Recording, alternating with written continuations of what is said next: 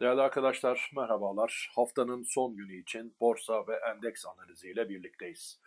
Sevgili arkadaşlar en son aktarmış olduğum analizimde 102 bin ihtimalinin bu seviyeye kadar ulaşma ihtimalinin gittikçe artmış olduğundan bahsetmiştim. Ve bunun içinde esas koşulun 99.300 seviyesi üzerindeki kapanışlar olacağını e, vurgulamıştım. Zira bugün 99.700'lere kadar ulaşan günün birinci pivot direncine kadar ulaştıktan sonra 99.400 seviyesiyle bir kapanış yaşadık. Sonuç olarak kritik 99.300 direncinin üzerinde ilk kapanışımız gerçekleşti. Şimdi bugün itibariyle şayet 99.300 seviyesini destek yapabilir ve bu seviye üzerinde kalabilir isek özellikle de bu seviye üzerinde bir kapanışı ikinci bir kapanış olarak yaşayabilir isek 102.000 seviyesindeki bölgeye doğru ulaşma olasılığımız bir tık daha artmış olacaktır. Genel anlamda endeksin 96.300 ila 98.300 arasındaki boşluğunu doldurmak amacıyla yaşadığı geri çekilme sonrasındaki e, hareketlilik e, dün itibariyle de olumlu bir şekilde devam etti ve yabancı takas oranına baktığımız zaman ise yabancı takasında da %61.61 seviyesine pardon %65.61 seviyesine ulaştığımızı görmekteyiz. Zira sürekli analizlerimde ifade ettiğim üzere %65 seviyesinin üzerinde kalınması son derece önemli. Özellikle %66 seviyesine yaklaşımlar endeksin 100 bin üzerine yönelmesi ve 100 bin seviyesi üzerinde hareket etmesi anlamına gelebilecektir. Yalnız değerli dostlar endeks için 102 bin seviyesini, 102 bin, 102 bin 500 bölgesinin kritik bir direnç bölgesi olduğunu vurguluyorum. Henüz 100 bin seviyesini destek yapamadık ama şu an itibariyle bir ön bilgi olarak ifade etmek istiyorum ki endeks 100 bin seviyesinin üzerine çıkıp da 102 bin, 102 bin 500 bölgesine ulaştığı zaman çok ama çok dikkatli olmak gerekiyor. Zira o aşamada yabancı takas oranında önemli hareketlilikler yaşanabilmekte. Bakınız şurada 28 Ocak tarihinde yabancı takas oranı %66 seviyesine doğru hızlı bir şekilde e, yönelmiş ve 66-16 seviyesini görmüş. Bir iki gün öncesinde ise 24 Ocak tarihinde örneğin %65-75 ile şu an bulunduğumuz seviyelerde bulunuyormuş. E, o tarih itibariyle endeksin hangi seviyede olduğuna bakacak olur isek 24 Ocak tarihinde endeks e, evet 100 bin seviyelerinde bulunuyor. Yani bugünkü yabancı takas oranının 24 e, Ocak tarihindeki oranıyla aynı konumda olduğunu ve endeksin de yine benzer seviyelerde olduğunu görmekteyiz. Ancak 24 Ocak tarihinden itibaren endekste önemli bir hareketlilik olmuş ve 106 bin seviyesine doğru 105.900'ler seviyesine doğru bir hareketlilik yaşanmış. Ama önemli olan bir durum var iki değerli dostlar. 31 Ocak tarihine doğru endekste bir hareketlilik yaşanır iken gördüğünüz gibi 28 Ocak tarihinde 66-16 seviyesine ulaşan yabancı takas oranı 29'unda 30 Ocak tarihinde ve 31 Ocak tarihinde gerilemeye başlamış. Yabancı takası geriliyor ama endeks 31 Ocak tarihine doğru son 3 günde önemli bir atak yaşıyor. İşte sevgili dostlar, yabancı takas oranını takip etmenin önemi burada ortaya çıkıyor.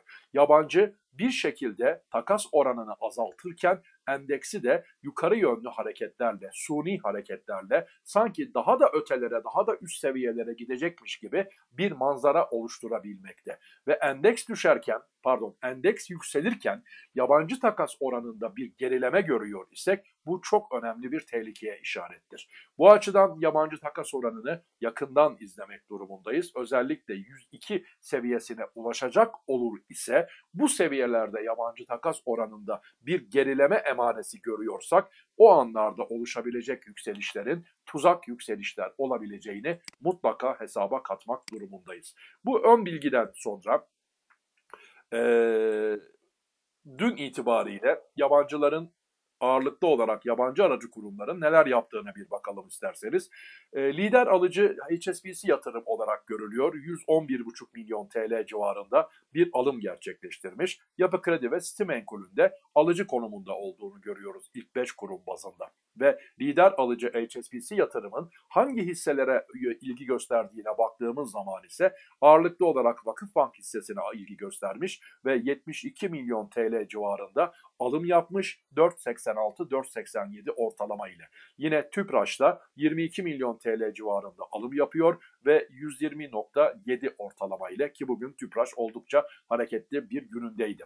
En çok sattığı hisseler bazında baktığımız zaman ise Türk Hava Yolları son günlerde e, önemli satışlara maruz kalıyor ve e, HSBC yatırım günün lider alıcısı olarak en fazla Türk Hava Yolları'nı satmış 12.33 ortalama ile.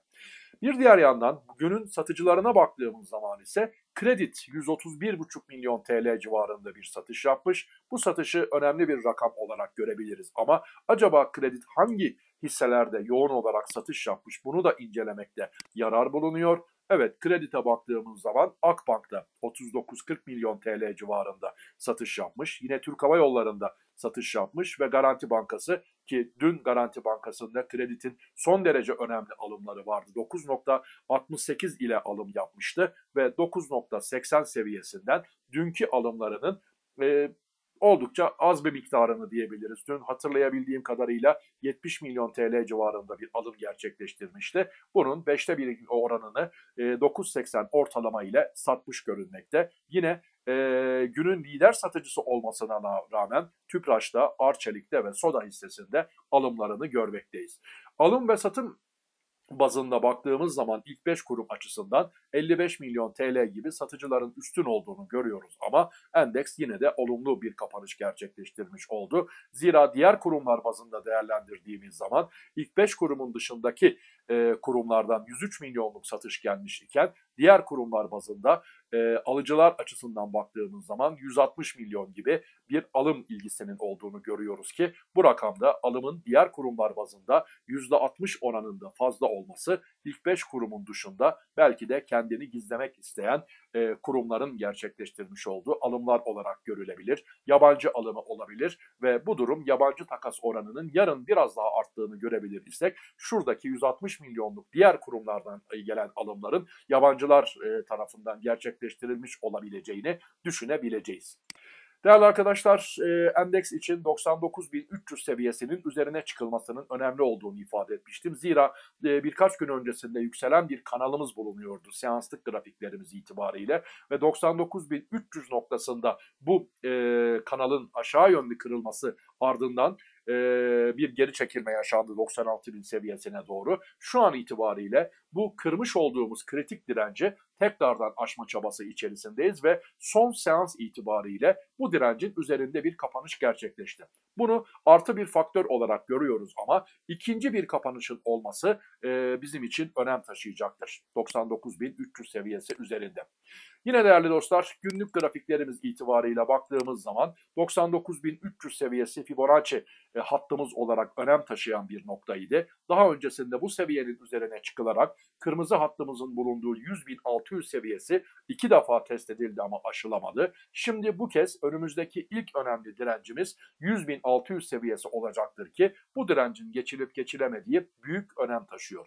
Arkadaşlar bu noktada şunu da ifade etmem gerekiyor ki bugün cuma günü olması nedeniyle haftanın son günü olması nedeniyle e, genellikle kredili işlem yapan e, kurumlar veyahut da yatırımcılar cuma günleri özellikle ikinci seanslarda bu kredilerini kapatmak yönünde satış yönünde olabiliyorlar. Her zaman için böyle bir şey vardır demek veya böyle bir iddiada bulunmak elbette ki doğru değildir. Ancak haftanın son günlerinde özellikle ikinci seanslara dikkat etmekte yarar olduğu kanaatindeyim. Zira kritik bir direnç eşiğindeyiz. 100.600 seviyesi bugün için önemli bir dirençtir. Bu direnci iki defa zorlamış olup da ardından gelen geri çekilme sonrasında yeniden güç kazanmış olarak bu kez zorlamamızda geçebilme ihtimalimiz oldukça e, yüksektir diyebilirim.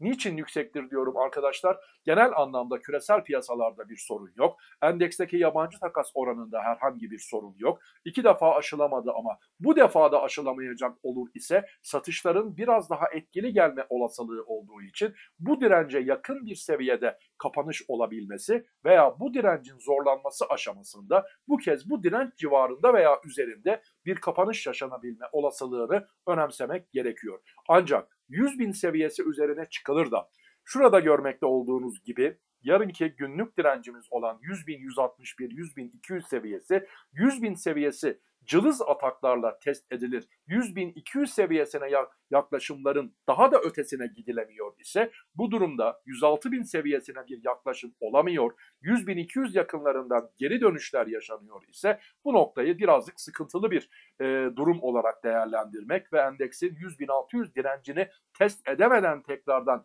bir geri dönüş yaşamak en azından 98.500'e e, pardon 99.400 seviyesini bir kere daha test etmek gibi bir niyetinin olabileceği düşünülebilir. Haftalık kapanışın zayıf bir şekilde gerçekleşebileceği düşünülebilir. Bu, bu sebeple 100.200 seviyesine önemli dikkat edilmesi gerekiyor. 100.200 üzerinde kalınabiliyor ise 100.600 seviyesindeki direnci aşmak noktasında biraz daha isteğin yoğun olduğunu düşünebiliriz. Sevgili dostlar 99.500 seviyesi bu haftanın pivot seviyesiydi ve zira bu seviyenin üzerinde kalabilmemiz önem taşıyor ve 98.500 seviyesi hem haftanın birinci pivot desteği hem de günün ikinci pivot desteği konumunda olduğu için de geri çekilmelerde en fazla bu seviyeye kadar bir geri çekilmeyi makul görebiliriz. Ancak bu seviyeden yeniden hızlı bir atakla 99 bin üzerine dönülemiyor ise bu durumda haftanın e, sıkıntılı bir kapanışla e, sonuçlanabileceğini dikkate alabiliriz. 98.500 seviyesi kritik bir öneme taşıyor. Yukarı ataklarda ise 100.200 seviyesine özellikle dikkat etmemiz gerekiyor. Arkadaşlar e, günlük grafiklerimiz itibariyle tablo bu yönde. E, haftalık grafiklerimiz açısından baktığımız zaman 96.600 seviyesinin önemli bir destek konumunda olduğunu görüyoruz ve bu desteğin üzerinde kalındıkça 38.2'ye denk gelmekte olan 102.500 seviyesindeki direnç bölgesine doğru hareketlenme olasılığı teknik manada sıcak kalacaktır. E, 102.000-102.500 seviyesinin önemine biraz önce değinmiştim zaten. E, aylık grafiklerimiz bazında ise 98-97.800 seviyesinin kritik bir öneme haiz olduğunu, bu seviyenin aşağısında bir günlük kapanış yaşadıktan sonra hızlı bir şekilde bu seviyenin üzerine çıkılmış olmasının önemli bir teknik detay olduğunu vurgulamıştım. Zira 97.800 seviyesi kısa vadeli pozisyonlar adına da stop loss sebebi olarak görülebilecek bir kritik nokta özelliğindedir. Bu açıdan da geri çekilmeler e, gibi ihtimallerin oluştuğu anlarda bu seviyeyi yakından izlemekte yarar bulunuyor. Arkadaşlar endeks ve borsa hakkında söyleyebileceklerim bunlardan ibaret olup hızlı bir şekilde size bugün dün itibariyle yaşanan para giriş ve çıkışları hakkında da bilgi vermek istiyorum. Ee, en fazla para girişi yaşayan e, hissemizin hangisi olduğu konusuna bir bakalım isterseniz. borsapivot.com sitemin e, ilgili bölümüne giriyorum ve Vakıflar Bankası'nın 28.6 milyon gibi bir önemli bir para girişi yaşadığını görmekteyiz. Ee, bir gün önce de 42 milyon 600 civarında bir para girişi yaşamış. TT.com'un, BİMAŞ'ın, Ereğli'nin, Aselsan'ın, Kozal ve Gözen, Gözde'nin para girişleri yaşadığına tanık oluyoruz. Yine en fazla para çıkışı yaşayan hisselere bakacak olur isek Garanti Bankası bir gün önce e, 70 milyon civarında 65 milyon civarında bir para girişi pardon hemen şuradan söyleyeyim 61 milyon TL civarında bir para girişi yaşamıştı. Ancak dün itibariyle 36 milyonluk bir çıkış olmuş. Türk Hava Yolları'ndaki para çıkışı devam ediyor. Son 5 gün itibariyle 60 milyon seviyesine ulaşmış durumda. Koza, Tüpraş, e, işçi ve emlak konutta para çıkışları gözlenmiş. Arkadaşlar bu tabloyu ekranlarınızı dondurmak suretiyle inceleyebilirsiniz. Ee, hafta sonu ayrıntılı bir şekilde e, genel olarak hafta bazında e, yabancıların neler yaptığını, hangi hisseleri aldıkları ve sattıklarını, maliyetlerinin ne konumda olduğu gibi detaylı analizlere yer vereceğim. Şimdilik hoşçakalınız, selamlar, saygılar.